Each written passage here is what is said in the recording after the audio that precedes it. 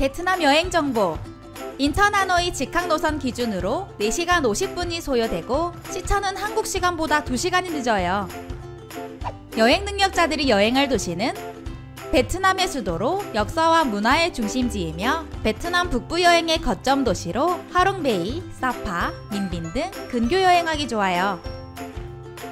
하노이 1일차 일정 대구국제공항 편의시설 안내.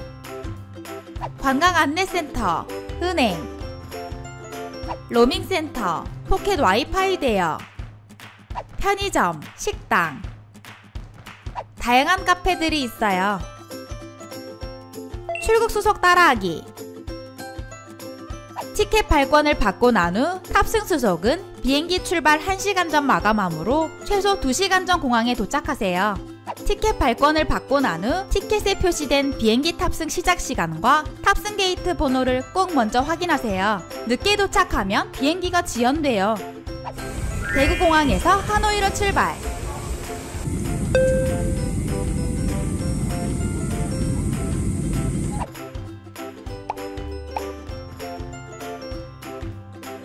노이바이 국제공항에 도착했어요. 입국 심사를 위해 도착 표시를 따라 왼쪽으로 이동하세요.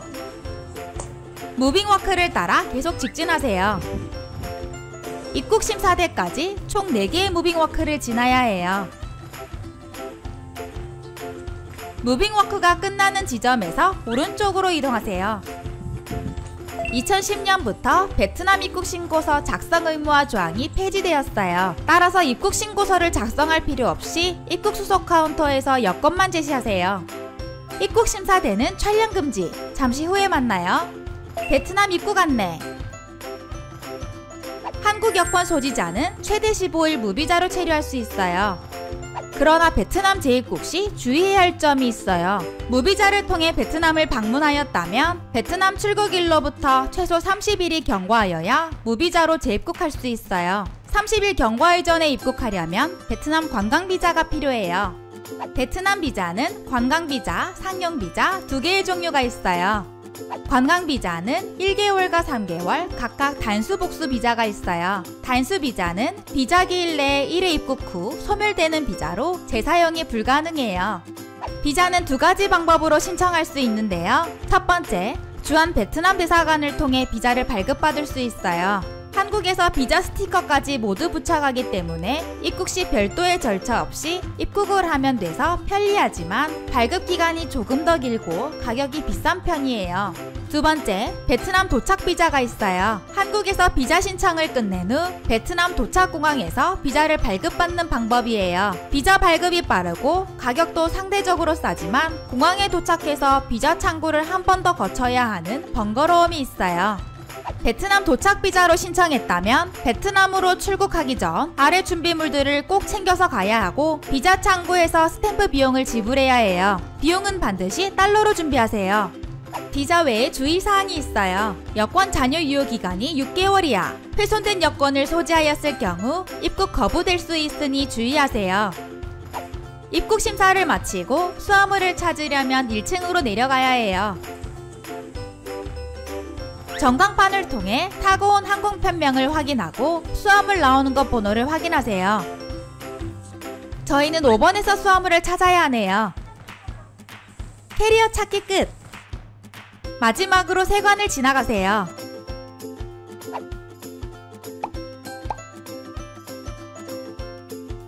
공항에서 베트남동으로 환전할게요.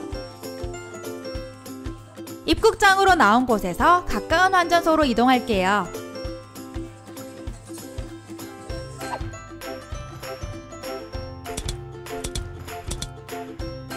노이바이 국제공항에서 환전하기 한국에서 달러로 환전한 다음 베트남에서 동으로 이중 환전하는 게 이득이에요. 공항 내 환전소는 수화물을 찾고 입국장으로 나온 방향 양쪽 모두에 있어요. 밤 11시가 넘어 도착했는데도 대부분의 환전소가 모두 영업 중이더라고요. 환전소마다 환율이 다르고 환전 수수료를 받지 않는 곳도 있으니 찬찬히 비교해보고 결정하세요. 환전소 창구와 No Commission, No Fee라고 적혀 있다면 환전소 수수료를 받지 않는 것이라는 의미예요. 공항 환전이 도심은행과 사설 환전소보다는 약간 더 비싸지만 거액을 환전하는 것이 아닌 이상 큰 차이가 없어요. 베트남은 돈 단위가 크기 때문에 금액을 잘 확인해야 해요. 큰 금액은 아니지만 받아야 할 금액에서 소액권을 주지 않는 경우도 있으니 꼭 확인하세요.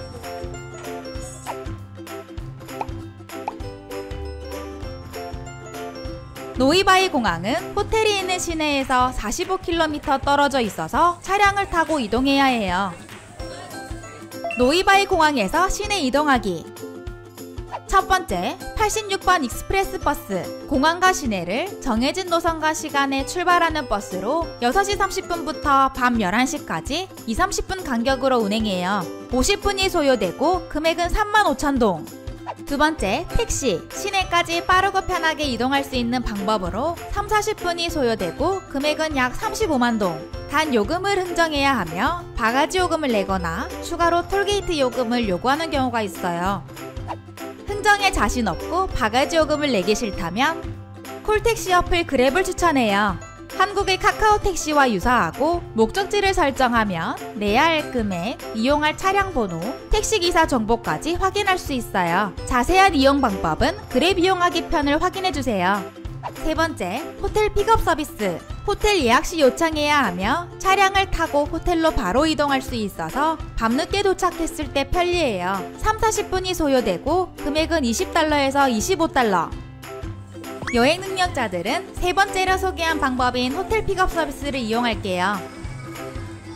본인의 이름이 적힌 팻말을 들고 있는 기사님을 찾아야 해요. 제 이름과 타고 온 항공편, 호텔 이름이 적힌 팻말을 찾았어요. 차량으로 이동할게요. 기사님이 차량을 가지고 오실 동안 잠시 대기했어요. 호텔로 이동할게요.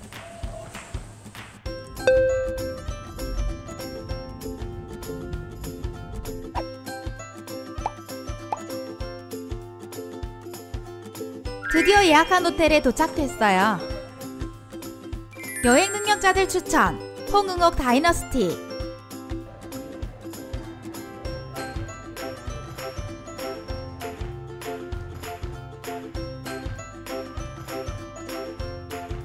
이호기가 선택할 룸은 다이너스티 그랜드 스위트 룸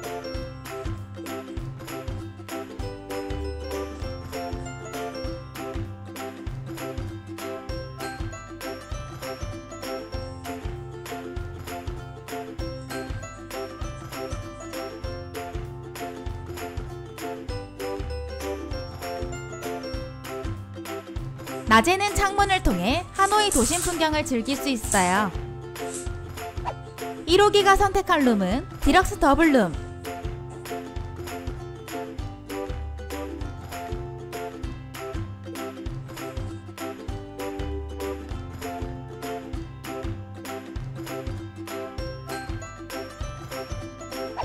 다음 편 하노이 자유여행 시작!